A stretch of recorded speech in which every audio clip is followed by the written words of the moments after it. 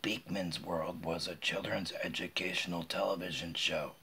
It was based on a comic strip and aired 91 episodes between 1992 and 1998.